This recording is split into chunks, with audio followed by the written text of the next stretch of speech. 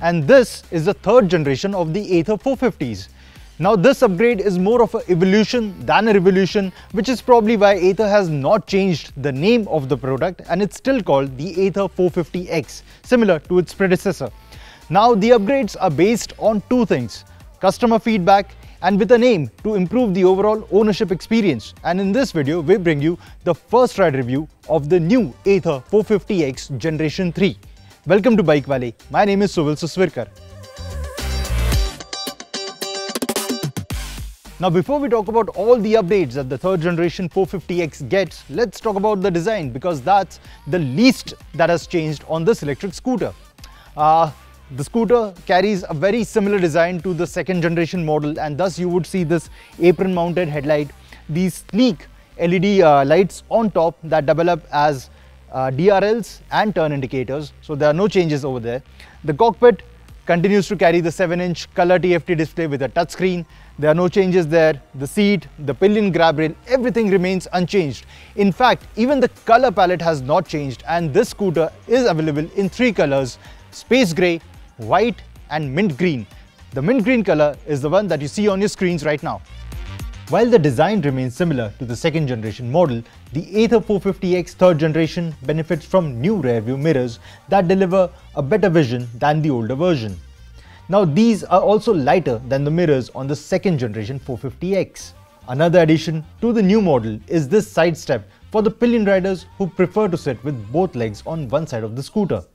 This setup has been designed to ensure that the aesthetics of the scooters aren't spoiled while enhancing its utility value. On the downside though, this side step is not compatible with any of the previous Ather 450 models. The paint quality and fit and finish is commendable, but there are a few parts that need improvement. The charging cover, for example, looks flimsy and it could have had a firmer mount. The switchgear works well too and the buttons are easy to reach. However, the quality of the turn indicator switch and the mode toggle switch could have been better as these units lack the assuring click that one would expect from an otherwise well put together electric scooter. Ather has also introduced optional accessories for the 450X. For now, these include luggage solutions that come in the form of a tail bag and a pouch that sits near the footboard.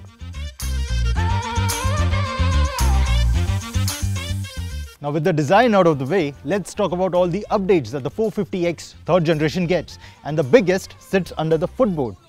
That is the battery pack.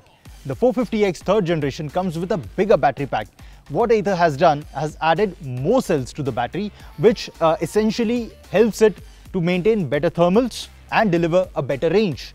Uh, in terms of range, the certified range has increased by as much as 30 kilometers while the true range, which is the real life range that Ather claims, has gone up from 85 kilometers to 105 kilometers. That's an increment of 20 kilometers over the second generation model. Now apart from increasing the battery capacity, Ather has also improved the user interface by increasing the RAM on the 450X third generation. This electric scooter gets 2 gigabytes of RAM as against 1 gigabyte on the second generation model. Now in the long term, what this is going to do is allow Ather to introduce more features. The list includes um, offline maps, voice command system, but that's way into the future. We don't have a timeline on that. In the short term though, what it does, it improves the overall experience. It makes the experience more smoother than what you get on the second generation model. The list of updates continue in the hardware department where the Ather 450X third generation gets a wider section rear tire as compared to the second generation model. Now this scooter uses a 100 section tire as against a 90 section unit on the second gen and Ather claims that this delivers better grip. What they have also done is revise the tread pattern for better grip in wet conditions.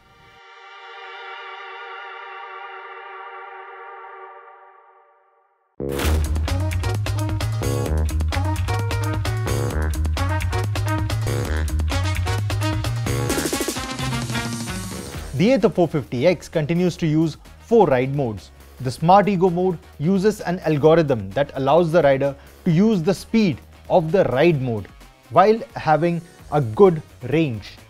However, two enthusiastic throttle inputs lower the top speed in this mode in order to deliver the higher range. the instrument cluster has an indicator that changes color when aggressive throttle inputs are used. With the battery updated, as we told you earlier, this scooter can deliver a range of 105 kilometers per charge in the smart eco mode.